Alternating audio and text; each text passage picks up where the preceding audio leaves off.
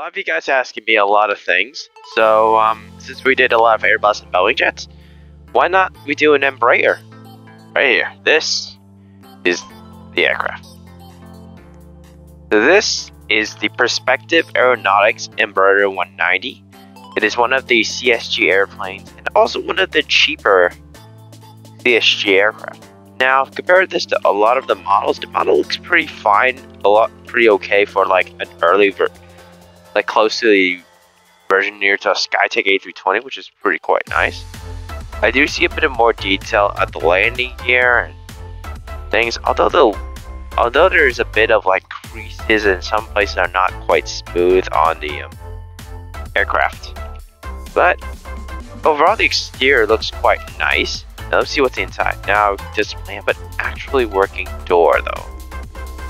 This airplane is quite on the cheap scale. That I hope it does have like, you know, the basic functions.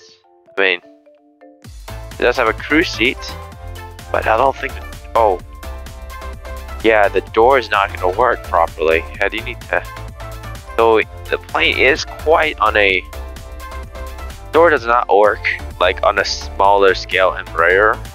Even the rear door does as well. Wow.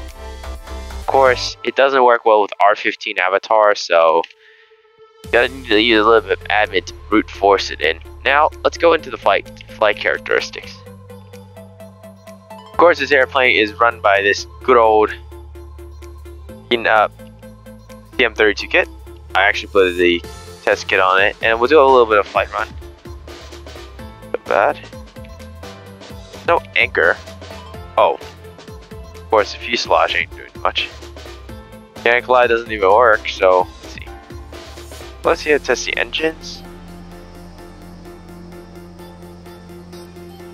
Okay, the plane does have some sounds. The spoiler does work. See the reverse thrust. Not gonna lie, they their plane does have some bells and features up. Quite on the good side for the Embraer. The flaps. I want to see the flaps. I don't can't see it. Try to go. Flaps two. There you go. Oh, the inner flaps work. Surprising. Surprising the inner flaps work. So um, all the flaps does work. I'm going to use flaps 2 today. does have all the lights, including an anchor mode system. But it doesn't really have a lot of things. So let's take a look at the flight characteristics of this guy. This very good old plane kit. But yeah. So um, I can't even go through the back. I have to extend this view counter. I mean, this airplane is like a cheapened out version of the regular E190. What going to do is text a quick text. It sounds like an A320 as well, combined to the Embraer.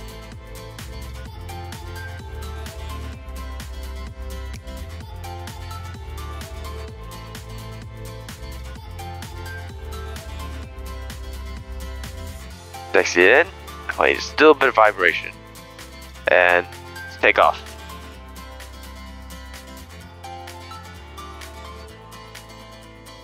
Speed's only 100 knots for a rotation here.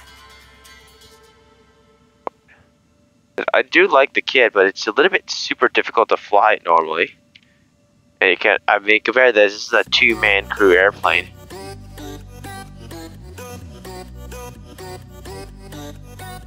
But surprisingly, it does have a functioning, uh, well, not really functioning, first off, if, because the plane kit is basically invisible to the naked eye. Pretty weird. I'm gonna do a little flight I... Oh, yeah. So that didn't came as a surprise. Um, take two.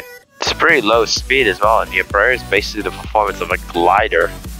It's the same CM32 kit, so it's like a very small little um, turtle. But surprisingly, the kit does have a stall function when you pull the nose a little. I'll see how far. I can do is just stall the Embraer.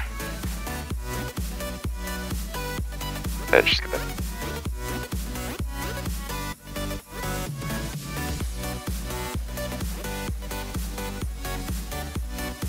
Can I land this airplane despite it looks like the kid has a bit of issues? Too high.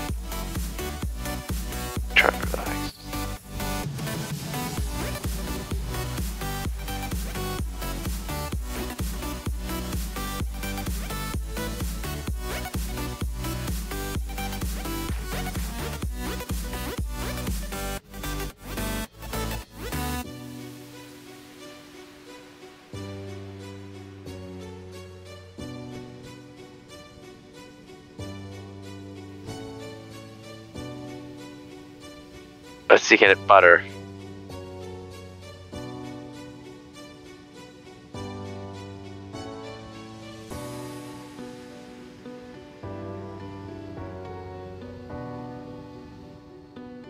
Nice. It's not so hard. Takeoff is a little bit of a nightmare while this thing shouldn't be like, you know, not too much of an issue. But yeah.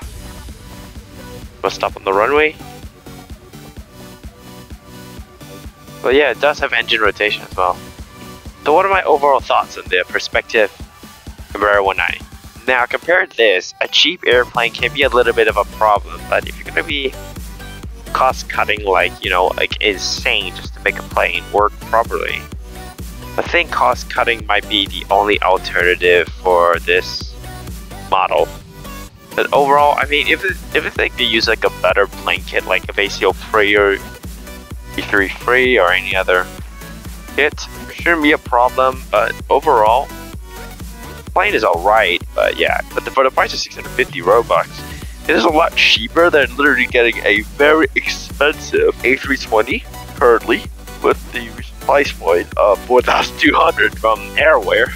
But yeah, it's a very cheap airplane as well. But overall, packs a pretty good punch, although the plane, get used to the really fancy airplanes, not really like on you. But it is airplane, it does work well for beginners in RoAv, so if they need it, the airplane's just for them. Thanks for watching, and I hope you guys have a wonderful time, and I'll see you guys in the next video. Bye!